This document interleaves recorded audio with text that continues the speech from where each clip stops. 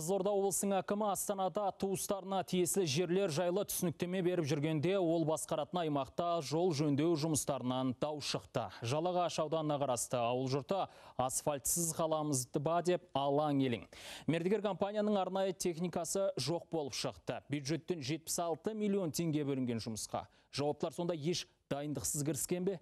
Төрт күннен соң бітетін келісім шарттың күші жойылса, қарашаға тағы талай жыл тақыр жерде төзуге тура келе ме? Сюжеттен көріңіз.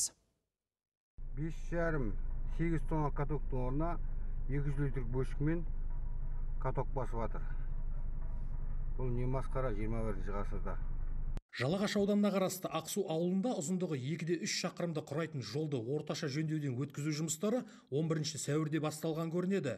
Жобаның сметалық құны 76 миллион теңгені құраған. Қаржы облыстық бюджеттен қарастырылған.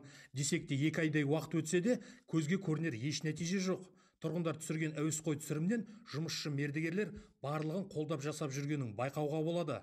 Осыны көріп ашынған жұртшылық мәселесін айтып жан жаққа арызданыпты тіркелген күннен бастап екі ай уақыттың ішінде жұмысты аяқтау деп белгіленген. Алайда өздеріңіз көріп тұрғандай ешқандай жұмыстар аяқталмақ түгілі. Енді төрт бес күннің ішінде тіптен жұмыстар басталмаса басталмады десек те болады. Тек ә, қоғамдық резонанс туылғаннан кейін ғана барып ә, бұл жақта техника жүріп жатыр. Мердігерлердің техникалары әлі ескі жолды қырумен айналысуда. Жол салатын компания бұл үшін екінші бір мердігерлерді жұмысқа тартыпты. Ал жөндеу жұмыстарының аяқталуына небәрі төрт ақ күн қалды. Кешігіп жатқандарын жауаптылар жоба сметаның шикілігіне әкеп тіреді смета өзі 2019-да жасалынған 2020 жылдың басында экспертиза өткен не ошибаюсь ол жерде ол кездегі состояниесі бөлек қазіргі состояниесі бөлек. Үш жыл өтті ғой енді. Бойынша негізінде. Срок заключения ведомственной экспертизы год. Үш жылдан өткізіп тұр үш жылдан кейін алып тұр. Жұмыстардың уақытылы аяқталмайтынына жергілікті билік өкілдері де сенімді. Кешігіп жатқан мердігерлерге шенділер бірнеше мәрте ескерту де беріпті. Иә өзіміз де көріп отырмық үлгеремей жатқан мердігерді.